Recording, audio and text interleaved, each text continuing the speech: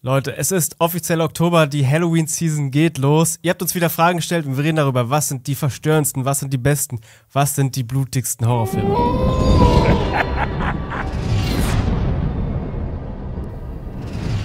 Ja, Leute, Happy Halloween noch nicht, aber wir starten jetzt langsam rein. Der Countdown läuft. Ihr habt schon die Terrifier Watch Party ins Urteil hoffentlich gesehen.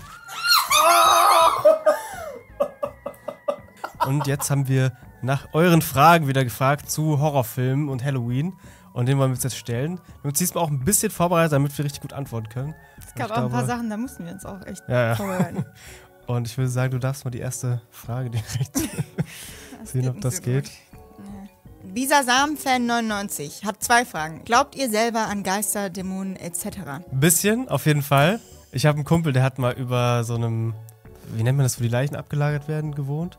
Krematorium? Kann man- Nee. Auf jeden Fall Ach so ein so, Ding halt, ja. ne? Und der schwört darauf, aber der ist auch sehr empfänglich dafür, der schwört, dass immer so ein Geist bei ihm zu Hause war und sowas. Aber der, der redet auch davon, als ob das cool ist. So Ah. völlig geisteskrank, ja. Geister, Geister. Du? ähm, ich möchte eigentlich nicht, aber ich hatte auch so eine ähnliche Situation. Ich war Au pair in New York und einer, der da mit mir in dem Haus gewohnt hat, meinte, weil das, das Haus lag auf einem, äh, auf einem Native American Friedhof Oh, und der bei Friedhof meinte, der Kuscheltiere. Ja, und er meinte, dass er nachts immer so ein kleines, äh, so ein kleines Mädchen sieht. Und das fand ich irgendwie nicht so geil. Also nee, Wenn mir sowas passieren würde, also wenn ich wirklich mal, dann ist vorbei. Ich glaube, dann äh, kann ich mich direkt irgendwie, kann ich Tschüss sagen. Dann, dann will ich gar nicht mehr. ja, ich würde auch, ich würde direkt so Yeet aus dem Fenster und das war's. Ich glaube, das ist die Antwort. Wir wollen nicht. Ja, ja, ja, wirklich. Nee, wir wollen nicht. Ähm, und noch eine Frage hat er, gibt es bestimmte Horrorfilme, die ihr nie angucken würdet aufgrund einer bestimmten Angst? Ich zum Beispiel finde Puppen verdammt gruselig und werde mir niemals Chucky ansehen. Hast du die Ja. Frage gestellt? Oder?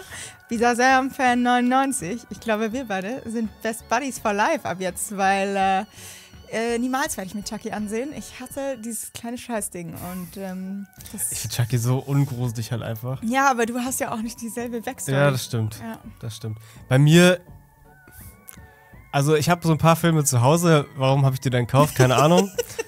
die, wo ich da- da stehe und denke so, ja, die stehen jetzt da, aber ich werde sie wahrscheinlich nie angucken. Ich habe ja auch ein bisschen krank Scheiße. Also, hast du mal von der Vomit Gore Trilogie gehört? Nein. Googelt nicht. Vergesst einfach, was ich gesagt habe. Das, äh, da habe ich Angst vor, das zu gucken. Diese ganzen, ähm, was ich dann auf Börse kaufe und sowas, da fühle ich Mhm. mich fast illegal manchmal, wenn ich die gucke. So. Dann denkst du immer so, Ich find, ah. das ist auch irgendwie eklig dann. Next. Die Frage kommt von Jan Zockt. Welcher war der erste Horrorfilm, der euch psychisch zerstört hatte, beziehungsweise nah an die Kotzgrenze gebracht hat? Ja, also psychisch zerstört hat mich ein Horrorfilm, den ich nie gesehen habe. Ähm, das klingt total bescheuert, aber als, eigentlich möchte ich das gar nicht sagen, aber also Ich hatte das damals ein bisschen mit The Ring. Äh, den haben alle in der Schule Und dann geguckt. mache ich das auch. Ja, ja. Aber halt eher dieses so, mir wurde mal erzählt, ich habe den geguckt und dann ist wirklich nachts der Fernseher angegangen, so auf Krissel und sowas. Und ich hatte auch noch so einen alten Fernseher, den man doch so schwarz-weiß Ja. Schieberegler stellen konnte. Ich glaube, psychisch zerstört habe ich damals Hereditary. Da ging es mir wirklich gar nicht, gar nicht gut nach dem Kino. also das war wirklich hart, obwohl ich eigentlich sehr viel aushalte, aber der war psychologisch halt so schlimm. Ah, ja, Ähm, auch, ich habe auch noch einen kleinen Bruder, ich glaube, spielt auch noch mal damit rein und sowas. Du hast ja noch gefragt wegen äh, An die Grenze vom Kotzen. Ich habe tatsächlich da zwei Filme. Äh, einmal bei Bone Tomahawk. Mhm. Gibt es diese Szene, wo der Typ in der Mitte durchgerissen wird. Und ich weiß nicht, warum, ich habe den geguckt und die hämmern da ja zwischen ihm rum und sowas. Und ich dachte irgendwie, die schlagen dem jetzt die Eier ab oder sowas. Und dann zerreißen die ihn auf einmal. Ich war so nicht drauf vorbereitet, dass ich Pause gemacht habe direkt. Und ich brauchte so, okay, was ist jetzt passiert? und das andere ist, äh, kennt ihr bei Holocaust? Da gibt es äh, diese Szene, wo eine Schildkröte ausgeweitet wird. Und also da ist mir wirklich schlecht geworden. Die nächste Frage kommt von Henry Johnson V7K. Was sind eure Lieblingshorrorfilme und warum, Hardy? Äh, ich habe ja schon im Lieblingsfilme-Video damals gesagt, Martus ist einer meiner Lieblingsfilme sowieso. Deswegen äh, ist es auch ja, einer meiner Lieblingshorrorfilme auf jeden Fall. Sonst, äh, ich liebe The Shining.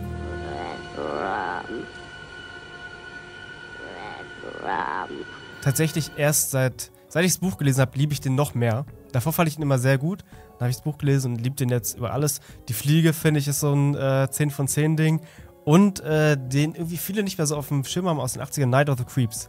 Ist äh, so ein, ja, auch so ein Zombie-80er Trash-Film, würde ich sagen. Und das Krasse an dem ist halt, man juckt sich um die Figuren, was es so wenig in dem Film geht.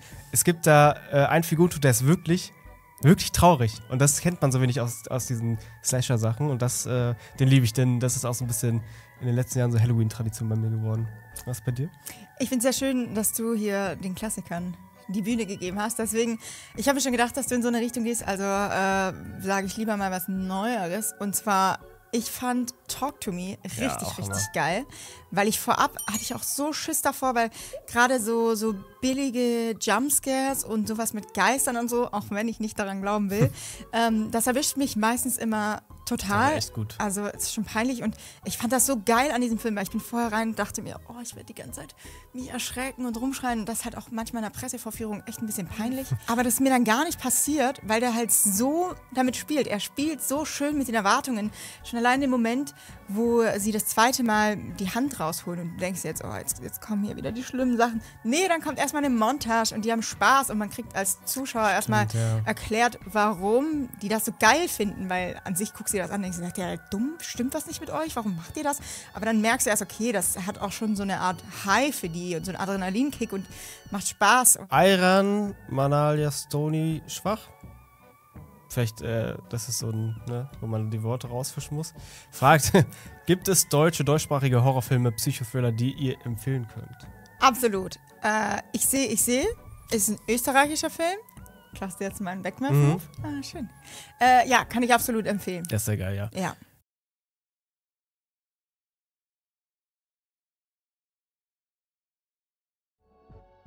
Äh, da kommt übrigens auch äh, dieses Jahr noch das Teufelsbad von den gleichen Regisseurinnen. Äh, mhm. Habe ich sehr Bock drauf. Ähm, bei mir, ich muss mal dann vielleicht kurz die Chance plagen. Ich habe ja bei einem Film mal mitgemacht, 2018, und der ist 2021, glaube ich, rauskommen. Hinter den Augen die Dämmerung, also ein äh, Kumpel von mir hat den gemacht. Hat sogar Premiere in London. In ne? London, ja, auf dem äh, Arrow Fright Fest, heißt es so? Keine Ahnung. Ähm, und ich bin natürlich auch irgendwie geblendet davon, dass ich da selber dran mitgearbeitet habe und irgendwie diese ganze Produktionsgeschichte kenne und sowas. Ähm, aber ich liebe den auch so. Ich habe den bestimmt sechs, sieben Mal auch einfach zu Hause geguckt, weil ich den so toll finde. Die nächste Frage kommt von Benny13. Top 3 heftigste Horrorfilme. Boah, finde ich. Hm. Also, ich würde Cannibal Holocaust auf jeden Fall mit reinnehmen bei mir. Ähm, ja, Martyr ist jetzt nochmal zu sagen, wäre irgendwie ein bisschen langweilig, deswegen. Ähm, weil ich ja schon meinte, ich habe so ein paar Horrorfilme zu Hause, wo ich mich manchmal so ein bisschen illegal fühle. Einer davon war ähm, Cannibal, also Kannibal. Da geht es um diesen Kannibalen von Rotenburg, also auch ein deutscher Film von Marian Dora. Ähm, Leute, die sich ein bisschen auskennen in diesen Underground-Filmen, kennen vielleicht Melancholie der Engel, das ist der Typ, ja. Ähm, und er hat eine Szene, ich glaube, ich, glaub, ich kann daraus gar nichts groß erzählen, weil das, äh, der hatte gar keinen Verleih und sowas. Aber ähm, es geht um Kannibalen und eine echte Geschichte und sowas und der ist sehr, sehr grafisch und sehr billig gedreht, was das alles nochmal verstärkt, dass es sich irgendwie ganz unangenehm anfühlt, aber dafür krasse Effekte hat. Und das zusammen macht so einen komischen Realismus aus, das ist ganz übel.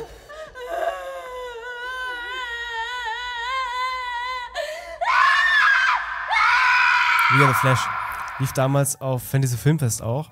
Und das ist, ich glaube, ein spanischer Film. Der habe ich auch zu Hause. Und das war auch so ein Ding, der so explizit in manchen Szenen ist, auch was äh, Sexsachen angeht und sowas. Mhm. Wo ich mich so unwohl gefühlt habe bei, wo ich auch das dachte, irgendwie so, so wie andere bei der Watchparty so, ist sowas erlaubt? Nee, das ist wirklich, das ist, das ist krank, ist das. So, der ist eigentlich, ich glaube, der ist gar nicht so schlimm, aber irgendwas hatte, er hat, hat mich irgendwie sehr verstört, ja. Bei mir sind es tatsächlich gar nicht so oft die ekligen Sachen. Ich muss aber auch gestehen, also ich äh, grabe nicht so tief in den dunklen Löchern wie du.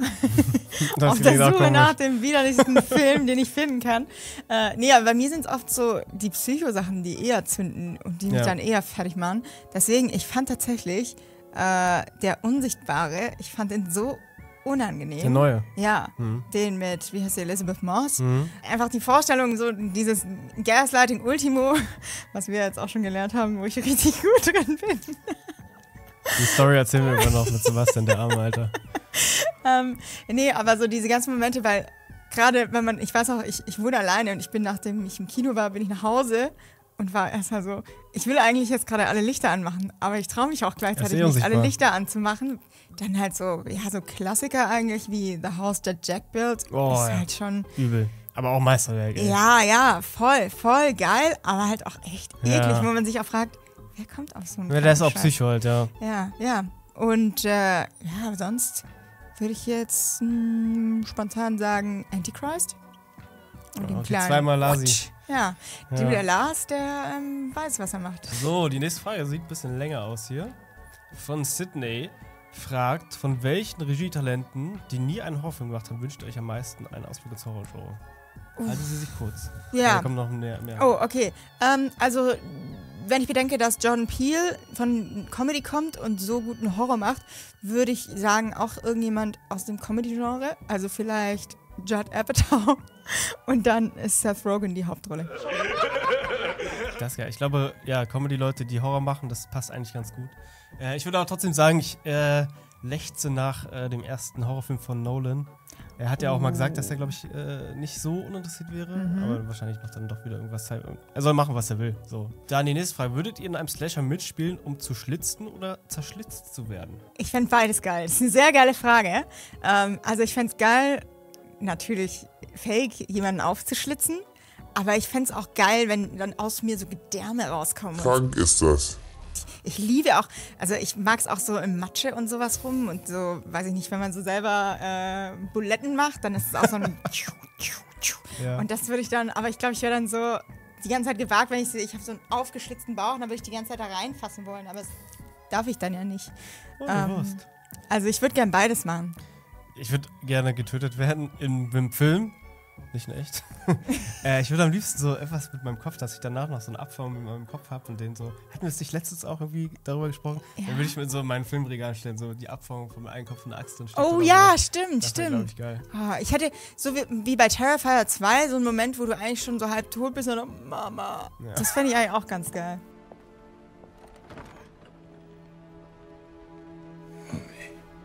Und die letzte Frage lautet: Guckt ihr Horrorfilme lieber in Gesellschaft, um die Angst Fremder mitzuerleben oder ganz allein, um in eurer eigenen Angst zu brodeln? Also, ich kann nicht bei mir sagen, ich gucke lieber alleine, glaube ich. Äh, außer so richtige Gore-Sachen, so Substance jetzt oder sowas, mhm. schon gerne im Kino. Aber ich gucke gerne sowieso alleine.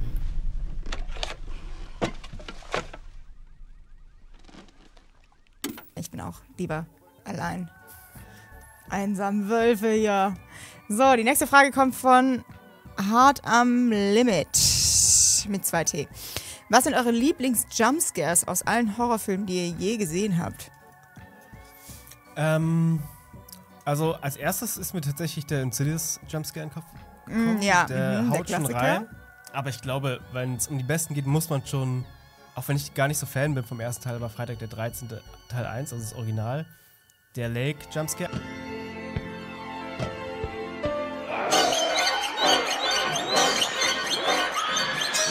Aber wel- welchen ich noch besser finde, ich gucke dir gerade alle nochmal, der Kevin Bacon Kill ist so fucking genial, weil äh, er liegt ja auf dem Bett und dann tropft es von oben Blut runter und du denkst, der Jumpscare kommt von oben, dann kommt Mm. Er dann von unten. durch und das ist äh, ziemlich smart immer, finde ich. Ja. Ergibt überhaupt keinen Sinn, dass er das schafft, den Kehlkopf zu treffen, ohne es zu sehen und durch das Kissen Das und durch die. Ja.